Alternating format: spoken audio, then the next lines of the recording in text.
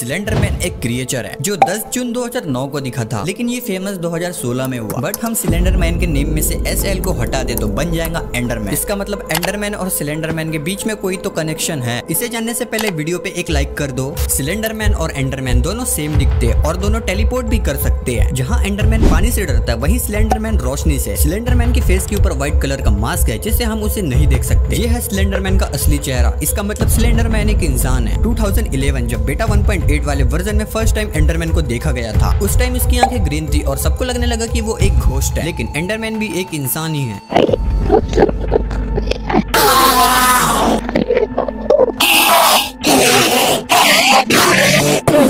लेकिन एंडरमैन इंसान कैसे है, ये आपको पता चलेगा इसके पार्ट टू में तो सब्सक्राइब करके ही जाना।